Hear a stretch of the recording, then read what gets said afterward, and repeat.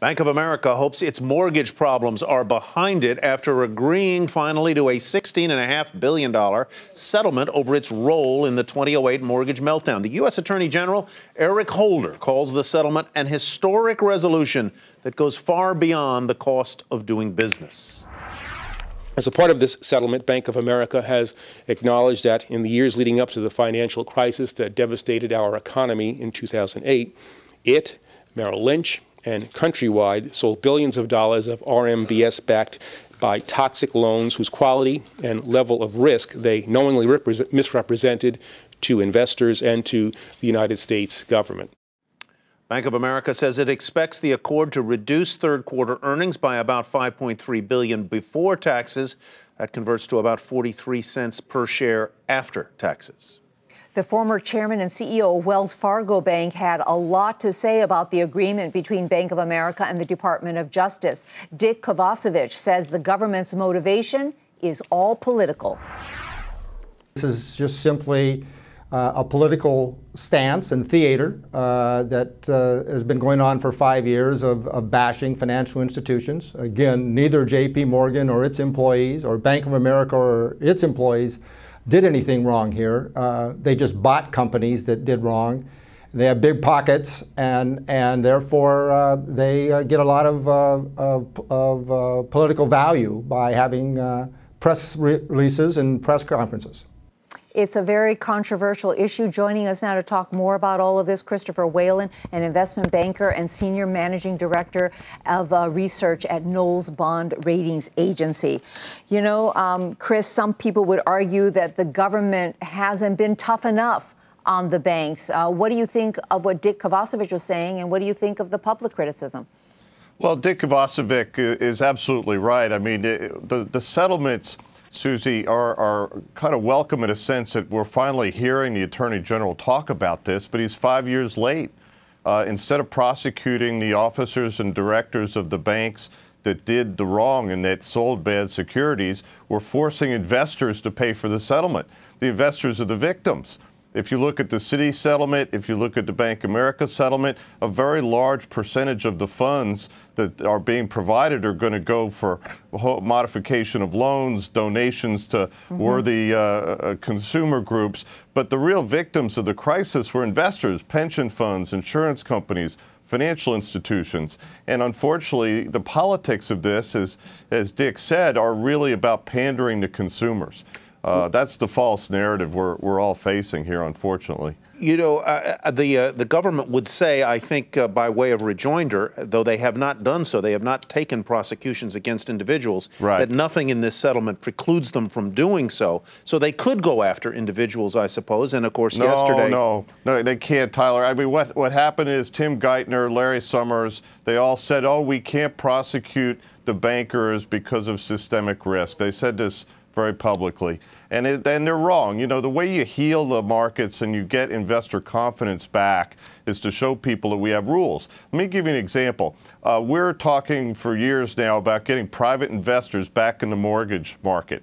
Why would any rational investor put money at risk if the Attorney General can show up and take money right. from you? Okay. Uh, there's no reason to do it.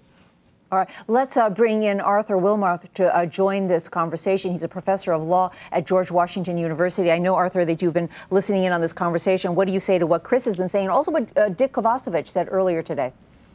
Well, well, first of all, there are, there are two groups of people uh, whose opinions you have to change. One is the senior executives. Senior mm. executives have to be held responsible. If senior executives are not held responsible, why would their successors act differently? But the other group that you have to change is large institutional investors, including pension funds, including mutual funds. And so I think what the government has done in levying large civil penalties against these three banks was necessary but not sufficient. It brings to the shareholders' attention that there was pervasive and systemic wrongdoing at these banks. And what is most shocking, the wrongdoing continued even after the crisis broke out. So mm -hmm. the allegations include allegations, uh, actually admitted facts, that, that they continued to sell shoddy and, and fraudulent mortgages to the Federal Housing Administration after the crisis broke out. Their, their basic uh, conduct did not change, and that's that's very shocking. Mm-hmm. Well, let me and I turn the conversation back to Mr. Whalen. I mean, uh, get you to react to what uh, Arthur just said. Uh, but the, the very same shareholders whom you say are now paying and bearing the responsibility were shareholders who made a lot of money at Countrywide and at Merrill Lynch uh, over the years through the practices that are being uh, sanctioned today. And, and secondly, some of those very same shareholders uh, in those banking companies uh, benefited from taxpayer bailouts, didn't they? Well, they did, but let's also remember that these large public companies bought these crippled financial institutions. You know, in the case of Countrywide, the firm would have failed if Bank America hadn't bought it. Bear Stearns, WAMU uh, were bought by J.P. Morgan. But Uh, Bank the- of America moved on, uh, moved to buy Countrywide before the crisis was in Oh. full flower. Well, yeah, but they were the warehouse lender for uh, Countrywide, Tyler. Countrywide had nowhere else to go. Uh, The firm definitely would have failed if it Right. hadn't been acquired.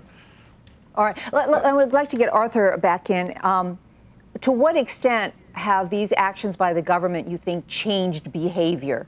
So, if something like this were to happen again, um, will the, whether it's financial institutions or other institutions, do you think that these uh, fines have been enough to deter bad behavior? Well, the, the three settlements have been quite recent, so it's, it's early to tell. I mean, I think one thing we, we need to look for is whether shareholders, the large shareholders, will seek themselves to hold the senior executives accountable.